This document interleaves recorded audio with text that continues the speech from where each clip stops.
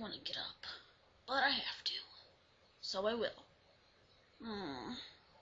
And up I go, and oh my god, this is my worst part. Yay, I'm out! Aha! Now I have to find my clothes. Oh hey, there they are. Sis, don't we have to go to school today?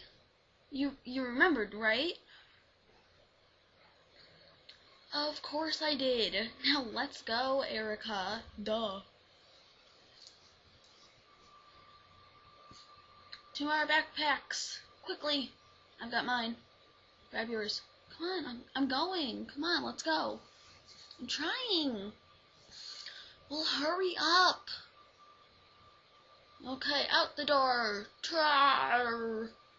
Wait it for me. I am. Down the clothes.